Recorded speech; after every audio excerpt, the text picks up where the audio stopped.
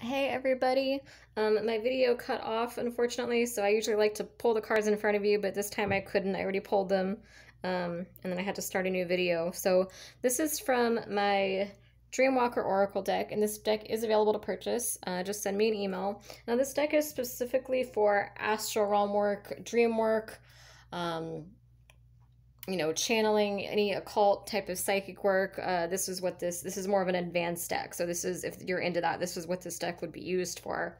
Um, it doesn't really make sense for like regular readings. This this deck is more if you're trying to figure out if someone's doing magic or if you're trying to figure out what magic you should do. Um, or if there's just something that you're trying to look into that has to do with the astral realm, this is the kind of deck that you would use. So let's get into it. Okay, so I feel like I'm gonna need to clarify. This deck is even hard. So I made this deck, and it's even hard for me to use sometimes. I have to. Okay, this popped up again. Dark Night of the Soul, substances. So this could be you or your person going through a Dark Night of the Soul. Um, you know, we have like an altered state of mind there, basically. So let's see what's going on. What was I gonna ask? Okay. Is this someone trying to keep you. Okay, there's some sort of truth that was just revealed with the recent um, full moon. Or this could be coming up during the new moon or the full moon. There could be some truth being revealed. Because I see, so we have Sacred Place and we have Shaman. And I mean, I, I always tell you guys that soul retrieval, if you can find an experienced shaman who can do soul retrieval, that's that's great for you guys. There's a lot of scam artists out there, so you got to know what to look for and you have to find the right person. But, you know, I recommend soul retrieval to anybody, anyone doing healing work. This is really important to do. Um, then we have Sacred Place uh, altars feelings of home, nostalgia. This could be a specific memory or emotion connected to a specific place. Ooh, I could also take this actually as I could see these together because um, this is nostalgia, you know, heartbreak connected to a specific place. Like this could be a home you shared with somebody. This could be like a certain spot you guys used to go to, maybe your hometown or where you're living. It reminds you of your ex or it reminds you of someone. And it might be saying, that you've actually got um like you've lost soul soul pieces in in those places and you need to go back and reclaim those parts of yourself. Maybe it was a heartbreak that just really kind of messed you up and it's like you've you've lost pieces of yourself in um, these places. Maybe those places once held great memories of love but then um, that heartbreak you know happened and now this is this is some place that causes you a lot of pain and maybe you know you've lost pieces of your soul there which isn't something to be afraid of basically the shamanic belief is that when you experience a trauma your parts of your soul leave to escape the trauma so basically parts of your soul um, I know it sounds it sounds weird, I know, but basically parts of your soul just leave to escape the impact of that trauma. And an experienced shaman um, will take you through and call those pieces of your soul back into you to make you whole again. And you know, I've done soul retrieval sessions and I've thrown up afterwards. Like so it's it's it, as crazy as it sounds, it's no joke. It is legit. It it's a real thing.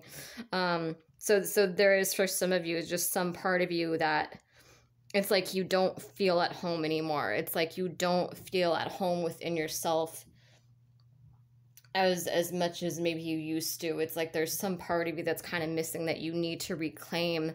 And I feel like this moon energy, either the recent moon or an upcoming moon, like I feel like it with it happening within the next month. So either the next new moon or next full moon, if it hasn't already, if it's not already happening with this recent um, full moon that we had. Um, I feel like it's it's time to kind of reclaim these soul parts, and I really take this to mean too that um, Um, let's see here.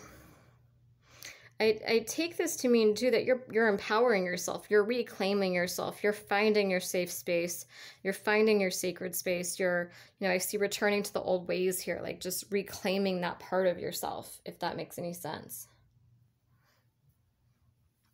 With deception in the moon here, I think that this again, either this moon or the next full moon or the next new moon is it's soon. I just don't know exactly when. Maybe it's different for each one of you. Maybe some of you are already on this path and this just started with the full moon that we just had. Maybe for others it's about to come up. um, later this month. But but I feel like there's a lot of truth being revealed with this this moon energy here with with them with um either a full or new moon there's a lot of truth maybe lies gossip malicious intentions uh, this could be someone who did dark magic on you in the past too maybe there was some problems that you had that you weren't even aware that it was connected and maybe you're going to see the truth about a person and you're going to have that um, motivation to cut this person out maybe you're going to see someone um, for being toxic. Maybe you kind of put someone on a pedestal and you're going to see that maybe they've been jealous or they've been lying about you behind your back or they've been doing something just negative towards you. You know, I think there's a lot of just I get a lot of truth revealing energy coming up with with this this moon. Um I feel like this could also just be for some of you, it's also just saying that you're going to be healing from this. This might be tied to the sacred place in the shaman card, where it's it's basically saying, you know, that's part of of losing those pieces of your soul is, you know, being lied to or being betrayed, someone having negative intentions towards you, maybe someone that you actually held in high esteem that betrayed you or someone that was trying to use um, some kind of dark magic against you or just trying to sabotage you, someone that was jealous of you, basically. Uh, just some type of energy here with that that that maybe that truth is about to be revealed here to you. And it could be part of you you know feeling out of it or not feeling not feeling at home not feeling comfortable um you know and needing to reclaim yourself needing to to ground and shield yourself and maybe be more mindful of who you allow into your sacred space here being more cautious about who you let into your life um, you know making sure you don't have any frenemies around you that kind of energy because we got banished here too you know let it letting go of something pushing something away so I kind of feel like there is something that you need to. This could be an ex, this could be a friend. For some of you, I feel like this is a friend. I feel like it's like a best friend or someone or like a close. I don't know, someone that you were close to that like maybe it's still hurting you or maybe it's like there was just some type of some type of hidden jealousy or some type of hidden betrayal or negativity and you're starting to become more conscious of it or you have become more conscious of it but it's been kind of hard for you to be honest with yourself about it and let it go. But there's an energy of needing to do cut and clear work. So there's there's a strong energy in this whole spread of um of pushing away and letting go more than bringing things in. So it's it's not i think maybe if you're asking for love you're like where is it? Where is it? Where is it? And you know your guides are showing you here like okay this is everything blocking you from the abundance that you're asking the universe for. Sometimes when we ask the universe for you know love or money or success or whatever it might be we have all these chaotic things happen all at once. And then we just feel like the universe is just kind of screwing us over and it's like we you don't want to ask for anything ever again like you just get really confused. And you know the reason why that's happening is because you know your guides have to clear out this old energy to make room for blessings. Like say you have a best friend that's toxic well if you're asking for a healthy best friend they're going to have to cut that person out they're going to have to push that person that's being negative and draining your energy away to make room for someone who's actually going to be positive. You know, same with like relationships. If you're asking for true love and you're still entertaining the toxic exes that are draining your energy and being psychic vampires, you know, the universe is going to be pushing away those people so that they can bring you true love, so that there's space and energy in your life for true love, so that you're a vibrational match to what you're asking for. Um, so you don't have these psychic vampires around you kind of just draining you and, and tearing you down you know they want to clear that energy out so there's just such a strong energy here of needing to do healing work and cutting things out and just clearing the space for this all these new things that you're asking for to to go ahead and come into your life um and this could be something that you maybe thought you cleared out, but it's like it's still hurting you, or maybe something you've been in denial about. There's just something that needs, it could be an ex, could be a friend, could be an energy, you know, and the same could apply to jobs too. It's like you're asking for money, but you're still in the same old nine to five stagnant job. And it's like you can't just up and quit your job. I'm not saying you can't, but I'm saying sometimes if you ask for, um, I'm saying sometimes your guides will come in and push you out of your comfort zone so that you have no choice but to make these life changes that you want to make. You know what I mean? Like you you have no choice but to go apply for new jobs now that you've lost the toxic 9 to 5 job. You have no choice but to, you know what I mean? Like they're just giving you a push. Um, and so there's this energy of the ship that is sailed, that it, it could be a friendship or a lover. I feel like for some of you, it is a friendship. It is somebody that you were close to that just kind of betrayed you. Um, there's there's some type of energy there with that. So saying, you know, to banish this, push this away. Truth is being revealed to you. There's also, let me see if this is a second energy, because I get two different energies, and one of them is actually good. Is this a second energy? Okay, I also get the energy of somebody who's spying on you but in a good way. Not in a, I mean, I don't know if you think it's a good way or not, but you have spirit animals here too. Look at this spirit animal. Pay attention to the animals you encounter both in your dreams and on waking life. And look up if, if an animal pops up, if there's like an animal around you right now, look up the meaning of that spirit animal because that might be a message for you.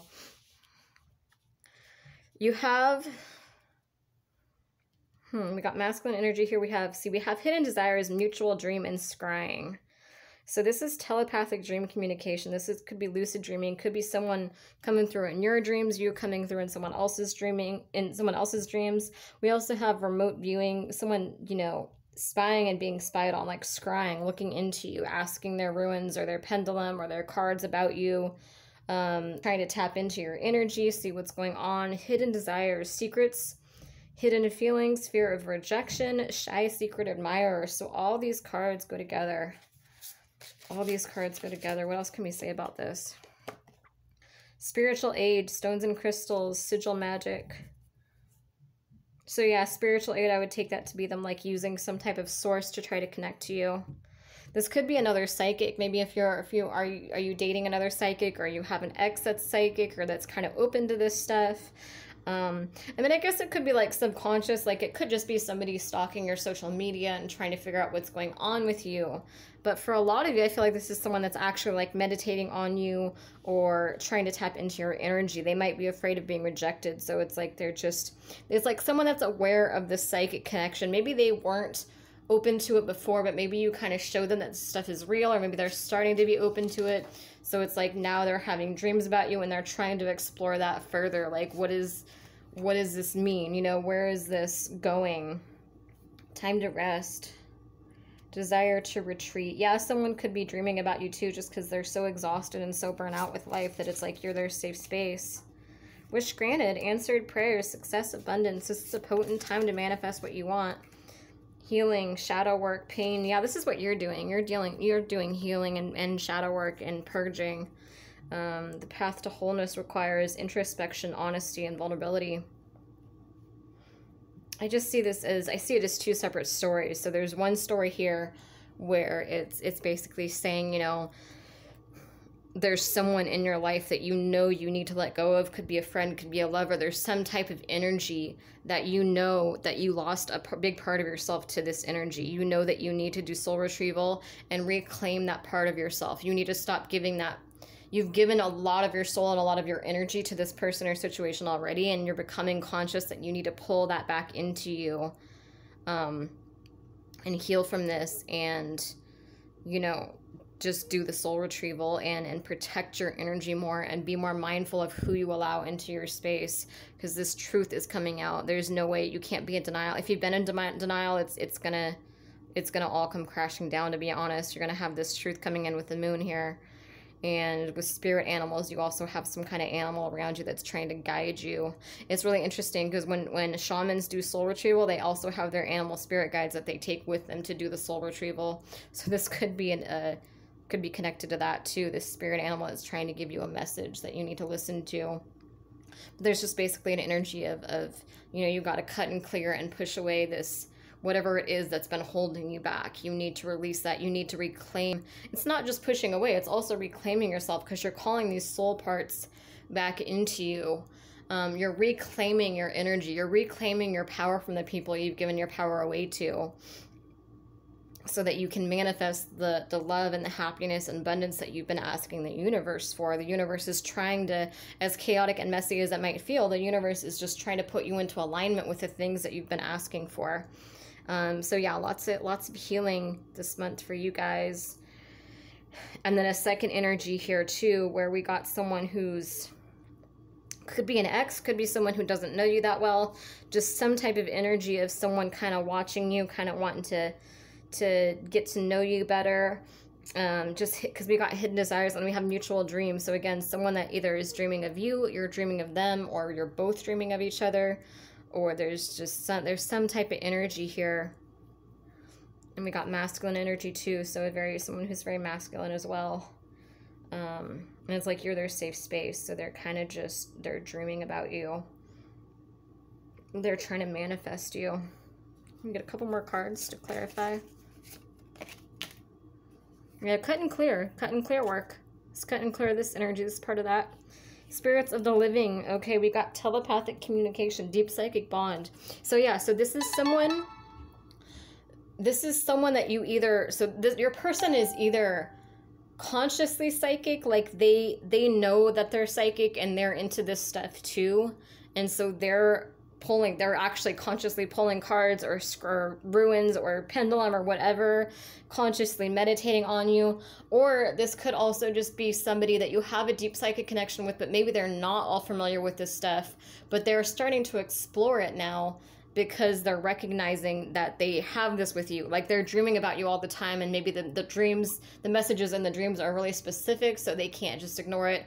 And maybe they're starting to meditate and starting to like kind of research soulmates or twin flames or they're researching some of the terms you told them or they're they're they're looking into stuff that they know you're into like they're they're curious about it themselves and they're trying to explore this and they're trying to see if all this is actually real and they're trying to see if they can tap into your energy and draw you in. Like they're just kind of experimenting with the with the universe, with universal energy, with psychic energy, you know, tel- telepathy, that kind of thing. So I hope this resonates for you guys. If it does, please go ahead and subscribe and, you know, let me know what you guys think. Thank you for watching. Um, and like I said, these, these cards are available for sale. Just send me an email. I also do paid private readings. Um, my contact info is below. And I also appreciate any donations that you guys can give, even just a dollar. It adds up so quickly. It's really, it just a dollar goes a long way. It really does because I'm getting a lot of people on here now. So that really adds up quickly and it helps me maintain my focus on this channel. So thank you for watching.